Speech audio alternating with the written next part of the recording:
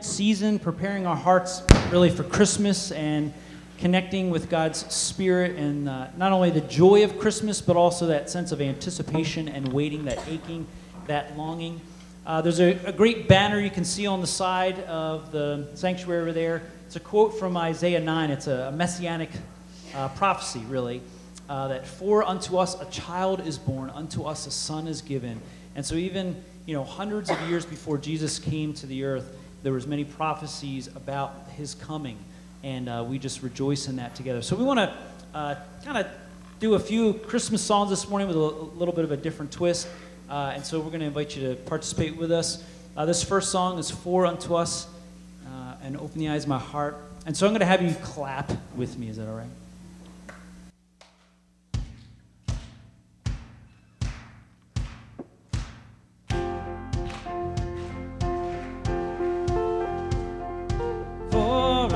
To us a child is born, a son is given, a son is given.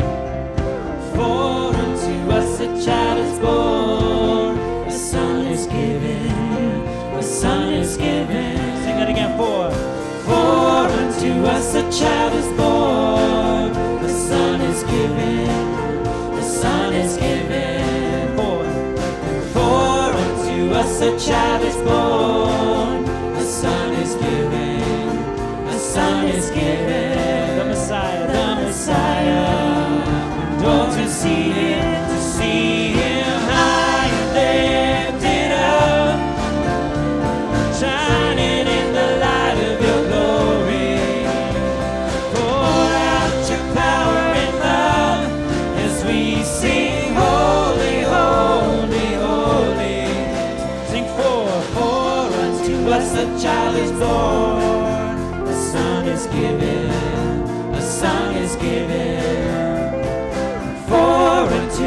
A child is born, a son is given, a son is given.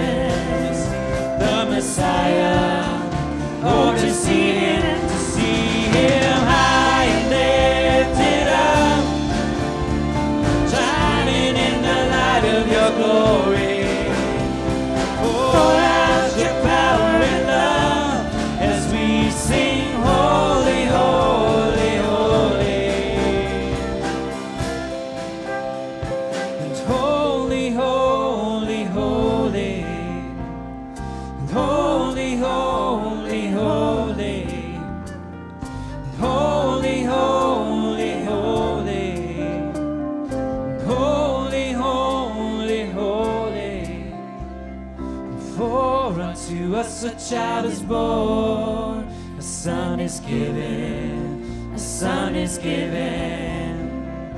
For unto us a child is born, a son is given, a son is given. For unto us, for unto us a child is born. Sing holy, holy, holy, holy, holy. For unto us, for unto us a child is born. Holy, holy, holy,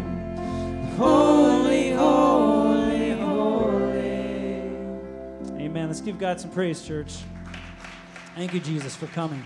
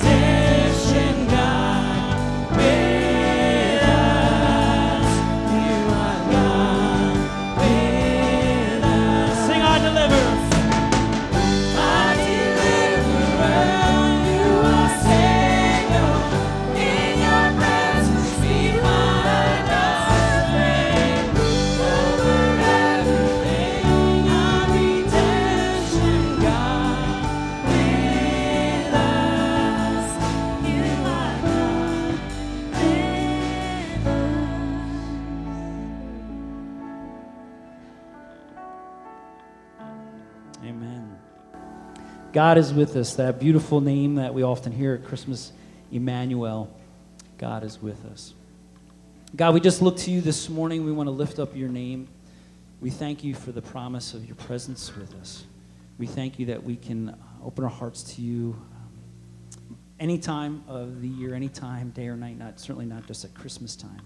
And we just rejoice in your name this morning.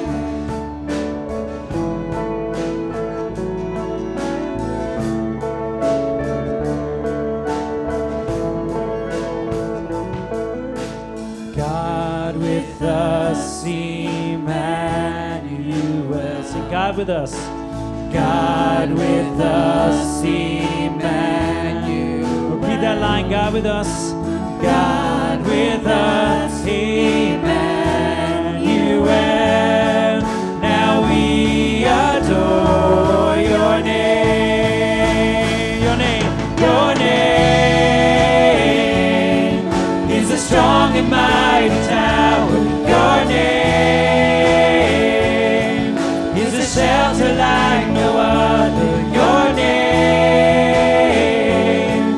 let the nations sing it louder. louder. 'Cause nothing has the power to save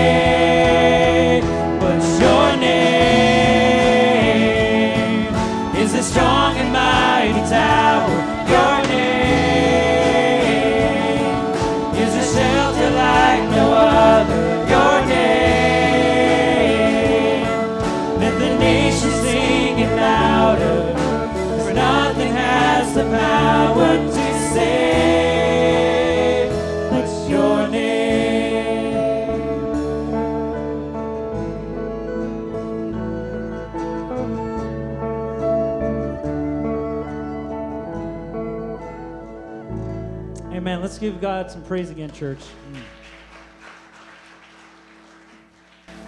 Again, we want to share this song with you. Um, it's probably a familiar hymn with a little bit of a different approach to it. Come now, long expected Jesus.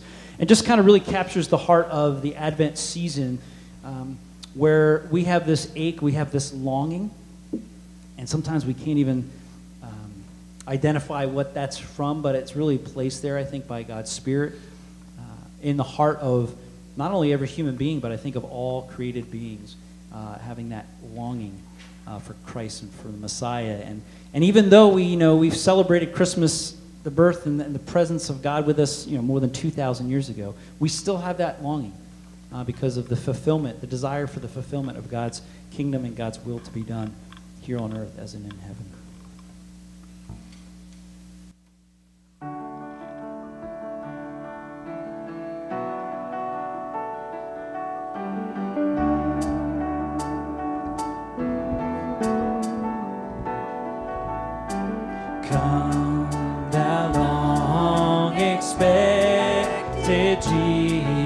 Jesus, born to set thy people free from our fears and sin.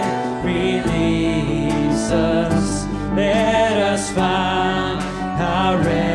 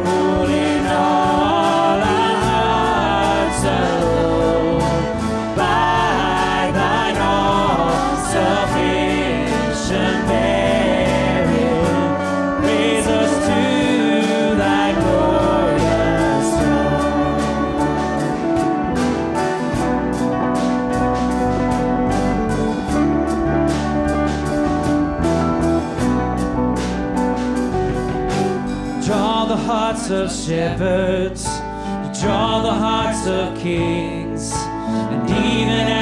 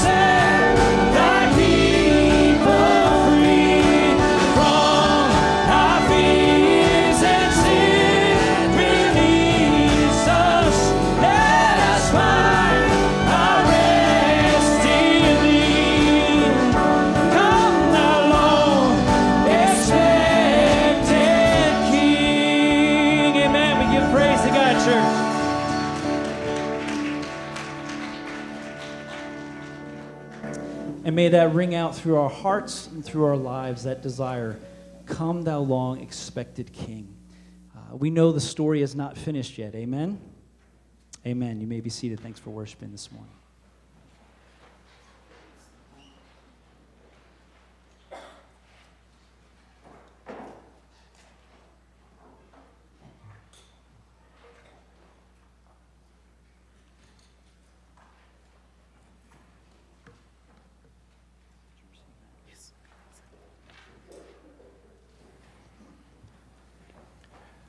Our scripture reading this morning is uh, the Magnificat. Is a song of Mary. Uh, this will be projected on the screen, and uh, I'll ask the congregation to join me in reading the part that's in bold. My soul proclaims the greatness of the Lord. My spirit rejoices in God, my Savior for he has looked with favor on his lowly servant.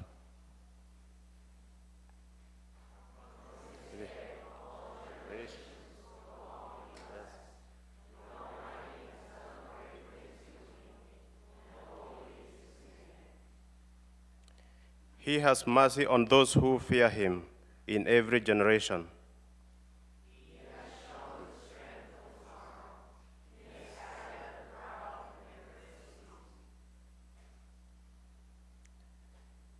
He has cast down the mighty from their thrones and has lifted up the, slow, the lowly.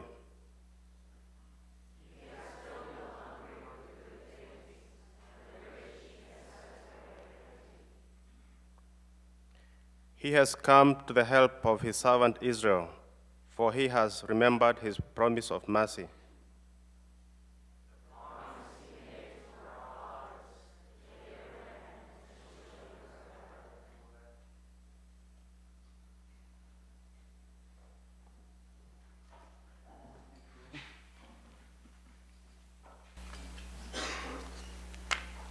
Well, this morning we, uh, we're going to do something a little different. Uh, we want to give you an opportunity to reflect on some of the truths in Advent, uh, maybe in a, a way that's new to you, maybe a little uh, unfamiliar. Uh, we want to give you a space really to uh, reflect on some of the, the lyrics of the songs and hymns that we sing at Christmas time, some of the scriptures that we hear. And so I'm going to be kind of a, tour guide for you, if you will, during this uh, time together where we're uh, reflecting on Advent. Uh, the, the flow and format of what we're about to experience is something that's similar to uh, what's called Taizé, uh, which is uh, a form of prayer, a form of worship, um, and it actually comes from a community that's um, based in a little village called Taizé in France. And it's been um, in existence probably about 50 or so years, and it's um, really a, a, gathering of uh, Christians who are committed to prayer and to worship and kind of a, a very simplistic way of living. Uh, and that has caught on. Uh, over the last probably 40 or 50 years, literally thousands of people, often young people from all over the world, kind of take a, a spiritual uh, pilgrimage, if you will, to this little community in France uh, and just gather for, for prayer and for worship. And so, uh, if you're curious about that, you want to know more information, there's uh, an insert in, our, in your bulletin that you're going to need this morning. So, if you did not grab a bulletin on your way in, Pastor Josh in the back has some extra of these. You'll want one of these because you'll be pretty, at least have someone next to you that has one. So if you don't have one of these, maybe slip your hand up and Josh or some of the uh, hospitality team will help you out. But there's a little information there about Taizé, about their community. There's a website you can check out later if you're curious. Um, so we're just gonna we're gonna jump right in to this Advent Taizé experience, and there'll be kind of a flow of some, uh, some spoken word, some silence, some music, and it's all designed to give you an opportunity to kind of experience some inward quietness and just opening your heart to God and. um, hopefully a restful way uh, this morning. So I want to draw your attention to the insert, and I'll start at the top there. I'll, I'll read this for us. This Advent like longing is at the heart of Christian spirituality. C.S. Lewis claimed that in this life, the Advent like stab of longing serves as a spiritual homing device placed deep in our heart by God to lead us back to Him. Advent trains us to ache again. Of all the seasons of the church year, Advent is the time to acknowledge, feel, and even embrace the joyful anguish of longing for Messiah's birth and the world's rebirth. And so we sing our aching songs while we light our candles and we wait. This is Advent longing, and we couldn't imagine it any other way. And so Advent really is a, a season. Uh, a lot of times we think of Advent as, well, there's the Christmas decorations.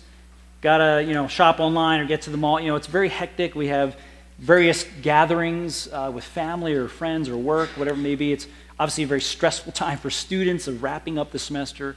And so I just want to give you a pause from all that hecticness and help you recognize that Advent really is a time to uh, be still and to feel some of that ache that God has planted in our hearts, that longing for Christ, that longing for Messiah uh, for that longing for the kingdom to come, as we sung about already this morning. So let us begin with uh, these intercessions. I'll read the italicized, and if you could respond in the bold, Lord Jesus, come soon.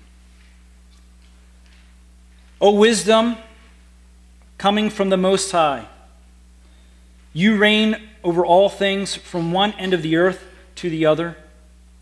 Come and teach us the way of wisdom. O King of nations, you alone can, conf- can fulfill their desires. You make opposing nations one. Come with outstretched arm and save us. O morning star, splendor of light eternal and bright sun of justice, come and shine on all who live in darkness and in the shadow of death.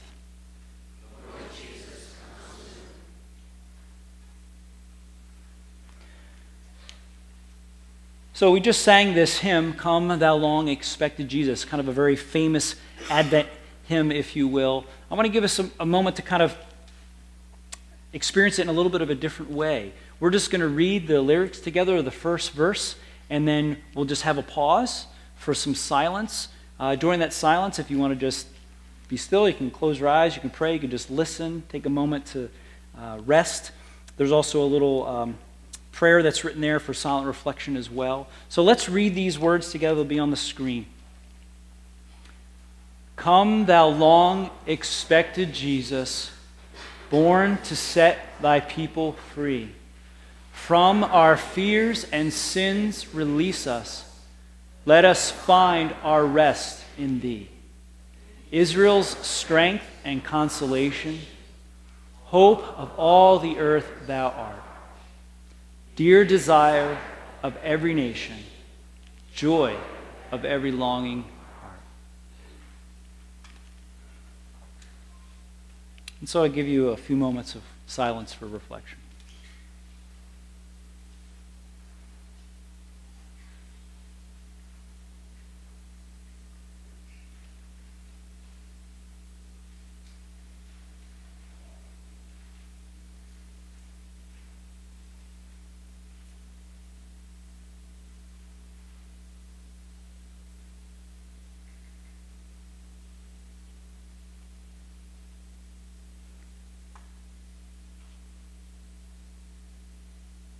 God, we want to admit that we long for you. Jesus, may your presence be very real in our lives. Spirit, may you soothe our souls with the salve of your presence. Amen. And in like manner, uh, O come, O come, Emmanuel. You know, we sang, Emmanuel is the name of God. It means God is with us. It's a, it's a promise, and it's it's very real, it's very tangible because Christ came in the flesh. So this isn't just kind of a um, philosophical theory. Uh, that's the whole idea of, maybe you're familiar with the term incarnation. So incarnation just means to be with someone, right? And so we all get to experience this maybe with, with family members or friends or coworkers or strangers on the street, you know, even in the midst of our own interior loneliness that we may feel, we know that we're ultimately not alone, that God is with us, that God has surrounded us with people. And so we're uh, calling out, in a sense, God's name once again, Emmanuel, saying, God, be with us. Help us to experience your presence, your incarnational um, presence with us. So let's read together the first verse of O come, O come, Emmanuel. O come, O come, Emmanuel and ransom captive Israel that mourns in lonely exile here until the Son of God appear. And so we, we wait in mourning, longing for the Son of God to appear and be present in our lives. So again, I give you a moment of silent reflection. Um, there's also a reading there if you choose to use that as well.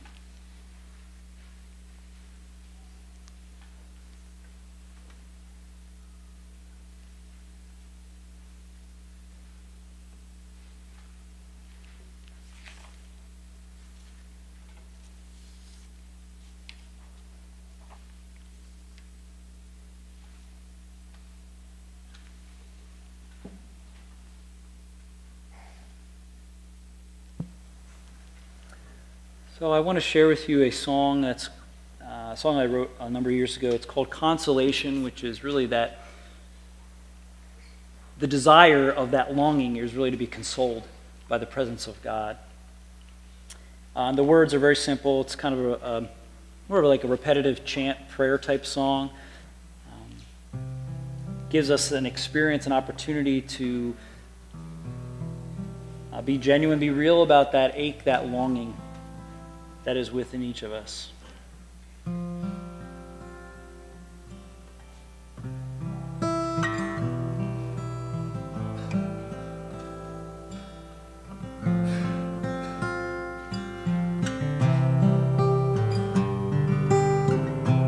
In the deepest place.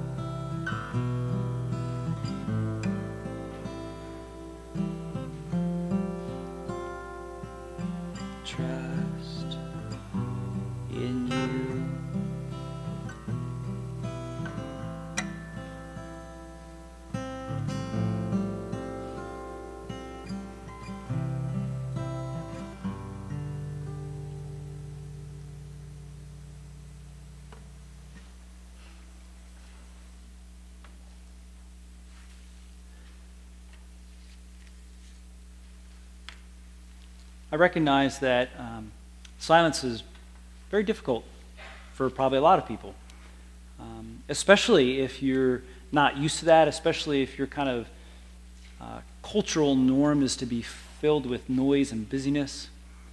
Um, I think, especially here in kind of a, a westernized culture, uh, even if we didn't grow up here, but we're certainly influenced, it, influenced by it now, um, we, we kind of run from silence. We reject it. Uh, it seems scary. Uh, and so I just want to give you some thoughts to think about, maybe reframe silence a little bit for you this morning. Uh, on the back side of your insert, there's a section, it's a long section, I'll read through it. You could just follow along as I read. It's about prayer, lament, thanks, and silence. If we take as our guide the oldest prayer book, the biblical Psalms, we note two main forms of prayer. One is a lament and cry for help, the other is thanksgiving and praise to God. On a more hidden level, there's a third kind of prayer without demands or explicit expression of praise. In Psalm 131, for instance, there's nothing but quietness and confidence. I have calmed and quieted my soul. Hope in the Lord from this time on and forevermore. At times, prayer becomes silent. Peaceful communion with God can do without words. I have calmed and quieted my soul like a weaned child with its mother. Like the satisfied child who has stopped crying and is in its mother's arms, so can my soul be with me in the presence of God. Prayer then needs no words, maybe not even thoughts. How is it possible to reach inner silence? Sometimes we are apparently silent, and yet we have great discussions within, struggling with imaginary partners, conversations in our mind with others or with ourselves. Calming our souls requires a kind of simplicity. I do not occupy myself with things too great and too marvelous for me. Silence means recognizing that my worries can't do much.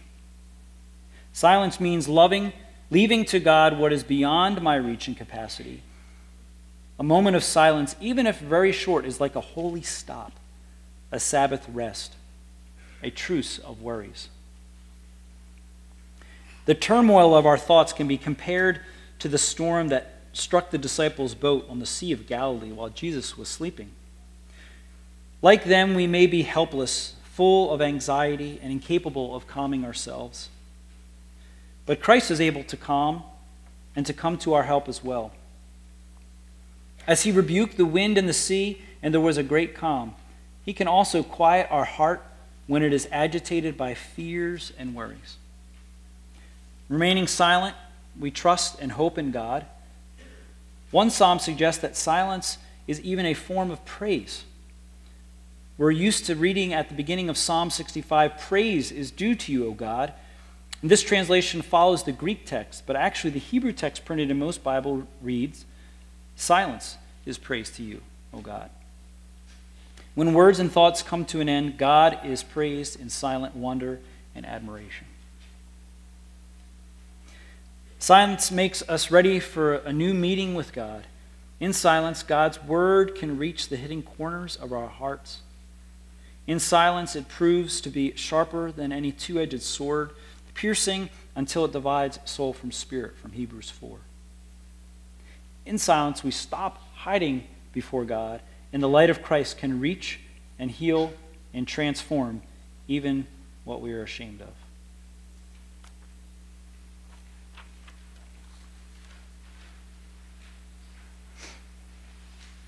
And so, kind of in that uh, spirit of silent awe and wonder, I want to invite us to read the opening verse to Silent Night, often a very famous and familiar hymn that we sing at Christmas. We sing here Christmas Eve service.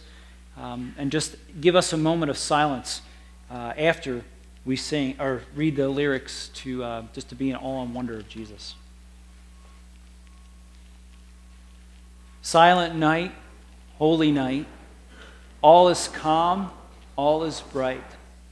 Round yon virgin, mother and child, holy infant, so tender and mild, sleep in heavenly peace, sleep in heavenly peace. And so, like this Psalm 131 invites our souls to be like a weaned child and, and God to be like our mother, just holding us like you can picture Mary holding baby Jesus. Allow yourself to experience some comfort and some quiet in God's presence.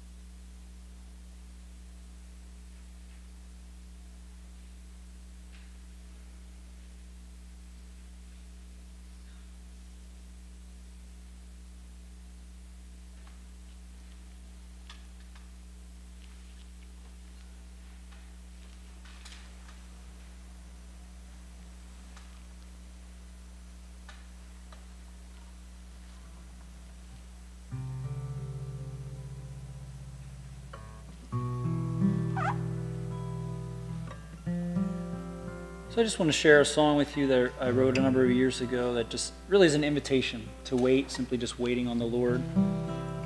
You know, really, no matter what's going on in your life right now, I, I'm probably, um, I feel a bit confident that there is an aspect of you needing to just waiting on the Lord.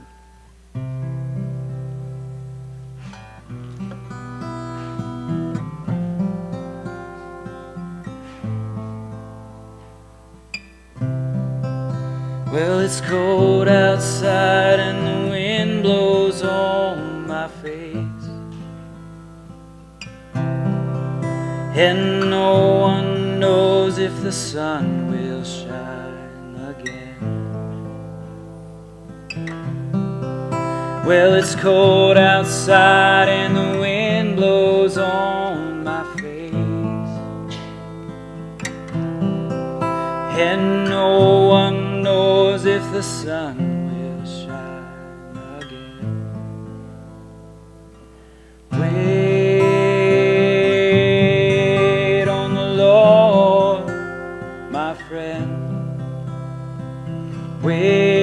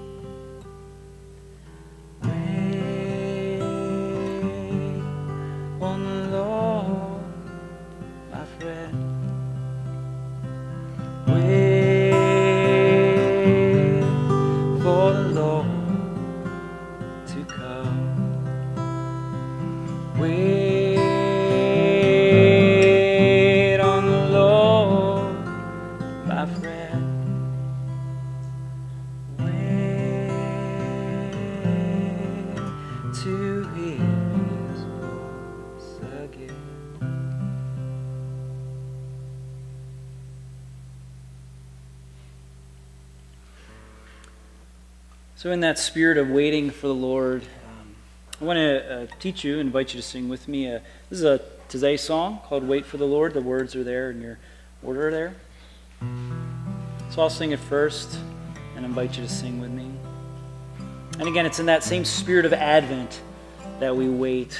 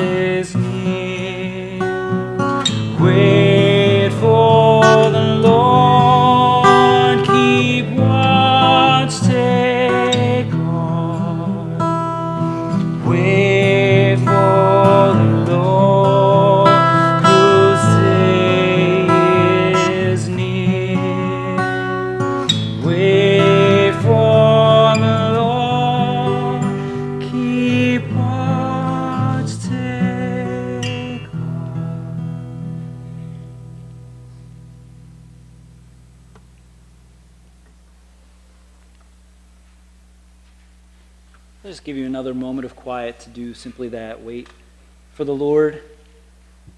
Keep watch. Take heart.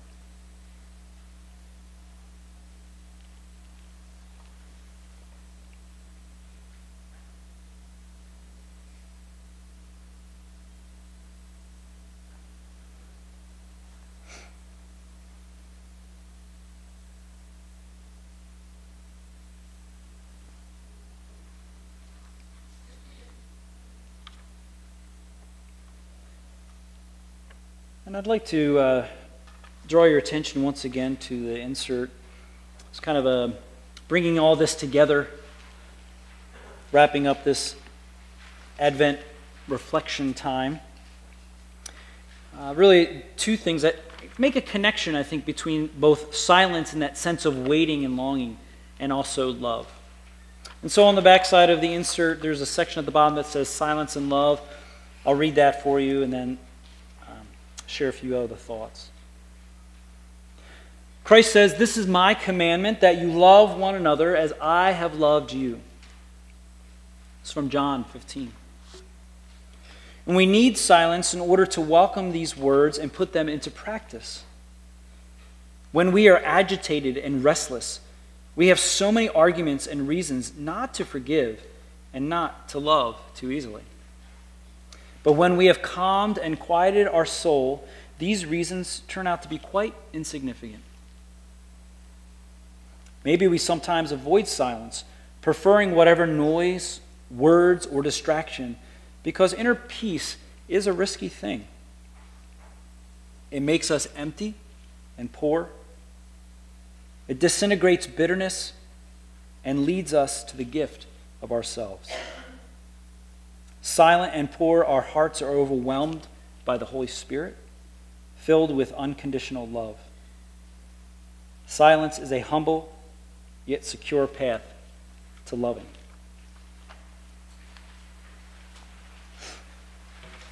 So I invite you today and in the remainder of this Advent season to, to continue to say yes to God, say yes to love.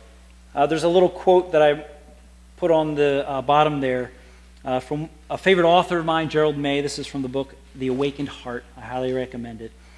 And he says, In saying yes to love again and again, we find a sense of our place in things, a glimpse of who we really are and how very precious each one of us is within the wondrous infinity of creation. And so I'd like to close our uh, Advent reflection time with a simple song. It's a little one that I wrote. It's really just kind of a prayer and really an invitation um, to be,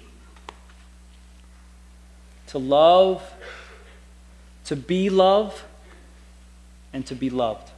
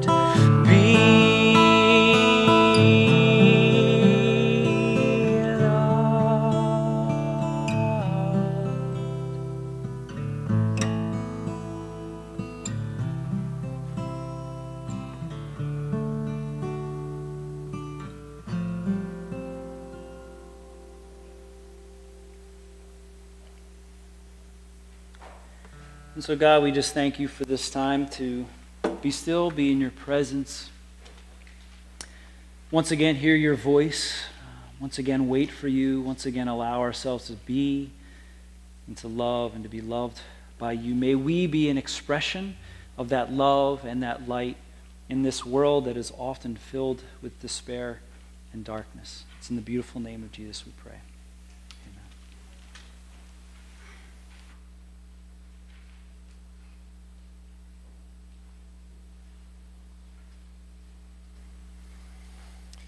Thank you so much, Pastor Brandt, for that uh, wonderful reminder. Just that um, in a season to, to quiet ourselves, to reflect on the longings of our heart, to kind of have that ache uh, and that recognition of our need for Christ and what this season represents, which is that need fulfilled in the coming of Christ. It's so ironic in a way and somewhat tragic that our culture has made this season of Advent, of Christmas, so much about rush and busyness and, and really consuming.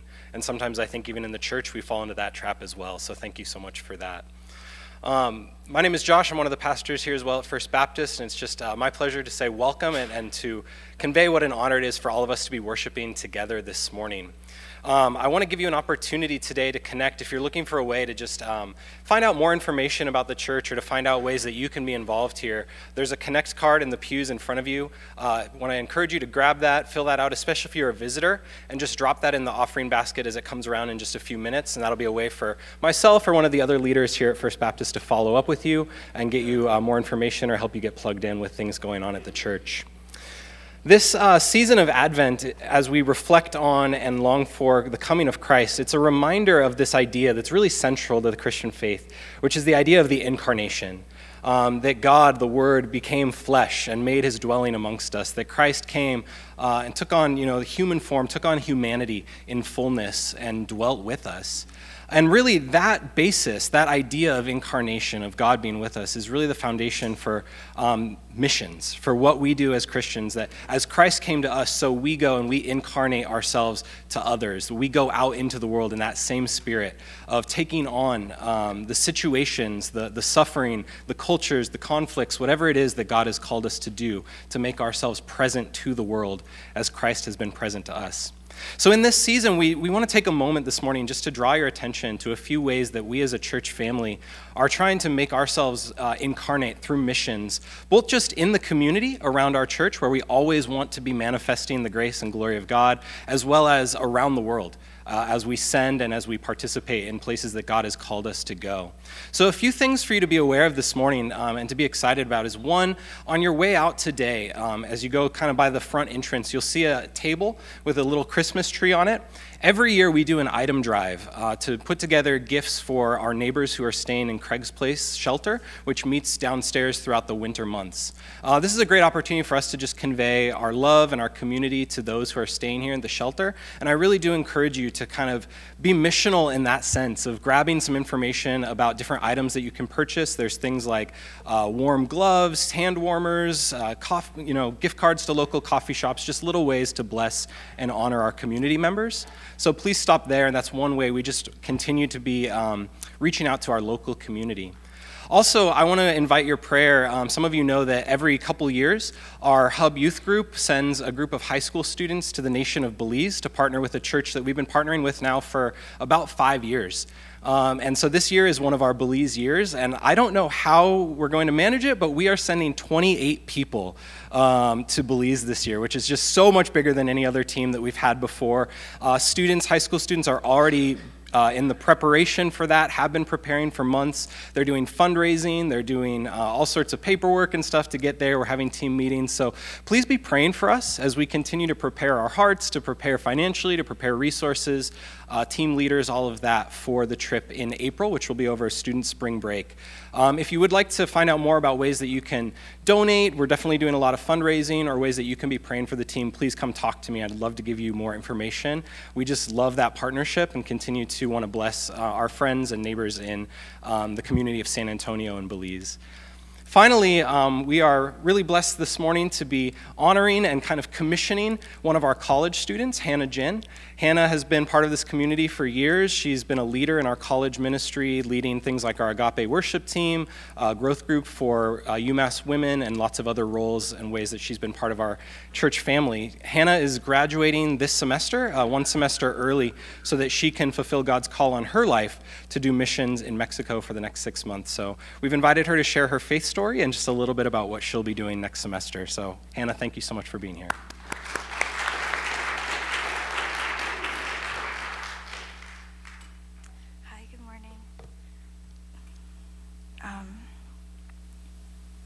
So, all of for all of my life, I grew up knowing who Jesus was, and I grew up in a Christian home and naturally found myself adopting the beliefs that my parents raised me on.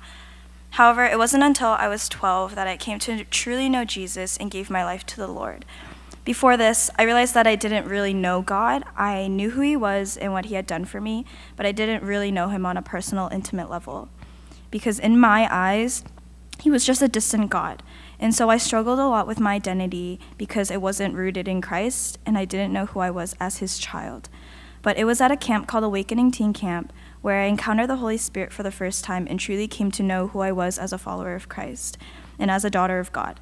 My identity was no longer rooted in the ideals of this world, but in the love and grace that the Lord had shown me. And so, coming into college, I continued to walk with God and grow in my relationship with Him, but I never imagined how life changing my college years would be. These past three and a half years have probably been the most transformative years of my life, and yet I have been taken through both the most difficult and the best seasons of my life so far. I experienced so much hardship in my circumstances during these years, but it was in those times when the Lord taught me to trust in Him and to surrender my fears and worries to Him. It was in these times that I had to look to God and to seek Him that much more. And through the trials, I've learned how faithful the Lord has been to me and how He used those hardships to grow me and mature me.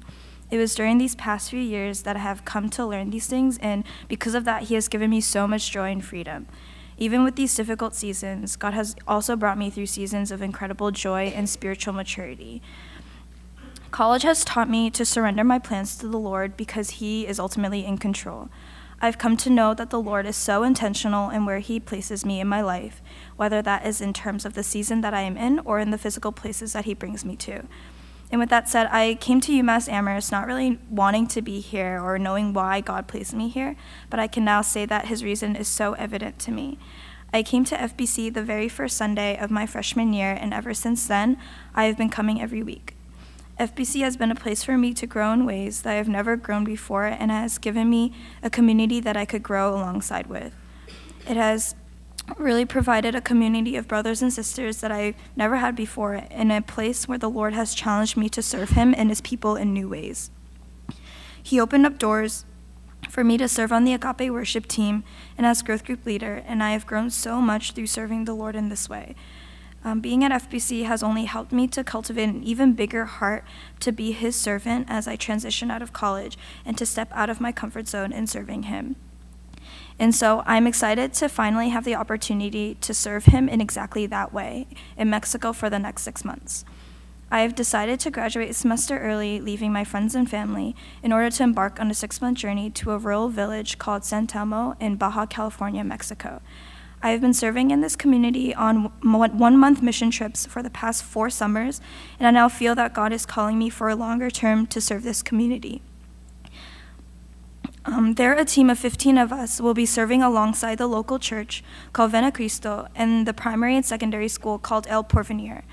We will be serving as English and extracurricular teachers, leaders, and ministers in the local community, while also partaking in evangelism and outreach to other regions of Mexico.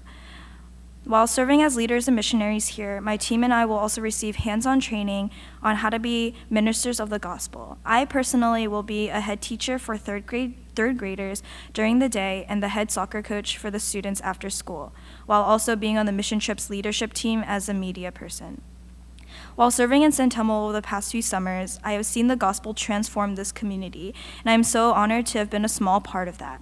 But I really feel like the Lord is calling me to surrender everything that I have for, for Him in order to be fully used by Him in Mexico, where there is nothing but dirt on the ground. I am choosing to say yes and to obey the call that He has given me. He has physically opened up so many doors for me to take this step of faith, to go, and so I'm going because I want to obey His calling. Because I love Him and I have experienced the love that He has shown me, I want to simply serve Him out of that overflow. It is a privilege to say yes to Him, and whatever He has in store for me, I am choosing to obey and to serve Him because He is worthy. Thank you.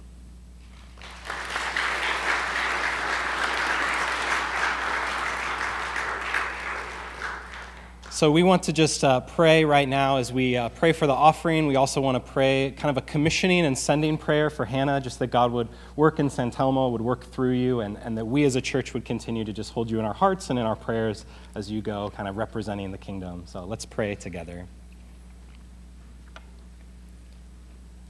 Heavenly Father, we thank you so much that we have this reminder this morning that as we uh, stop, as we pause, as we recognize that there's this ache within us for your love, for your grace, for what this season represents, God, that we can go and, and be part of answering that same expectation for others. God, that you have put that mission uh, on our hearts, that you have called us to be your hands, your feet, your voice, uh, resources to a hurting and broken world. We pray for Hannah this morning and ask that as she prepares to go out from our community and our fellowship, that you would go before her, that you would prepare the path before her, that you would be uh, working in San Telmo both before and during her time ministering there, and that um, you would just use her mightily, God, that your spirit would be at work in her to bless, especially the students, the young people that she'll be working with and teaching and coaching. Would you be with her team and help them grow in fellowship and unity and help all of them reflect the glory of who you are and the good news of your gospel, God? We ask that we as a church community would continue to have our hearts uh, in, just sparked by this idea that we are on mission for you. And God, that that would be something that's a glorious reflection of your love. As we prepare to take our offering this morning, would you use these gifts to further your kingdom, both in our community and the places you've called us to invest around the world? We thank you for your love and that we're called to be a part of reflecting that love to this world. We ask all of these things in the name of Jesus Christ. Amen.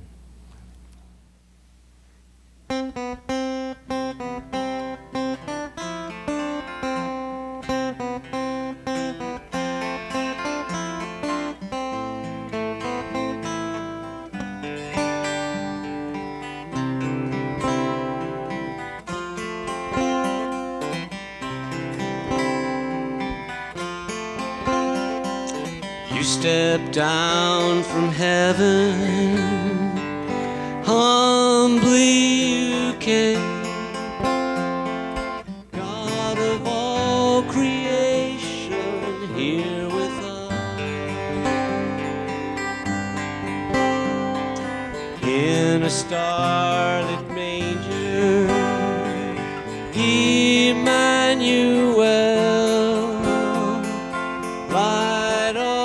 the world,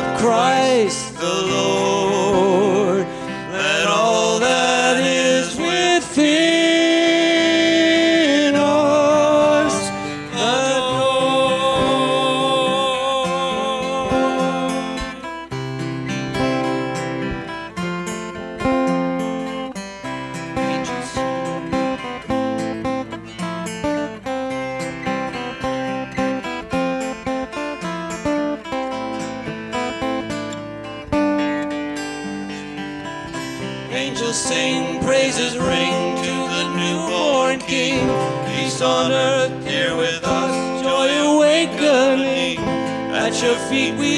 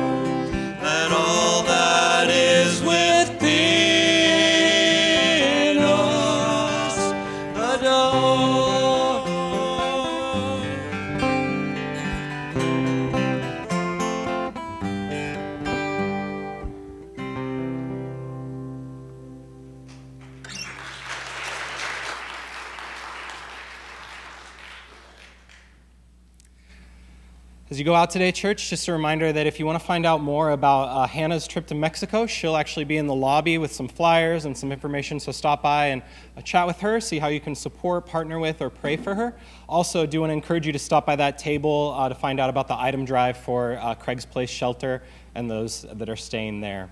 As you go out today, might you go uh, feeling the love that Christ has for you and being that love to a world in need. Go as his hands, his feet, his voice. Amen.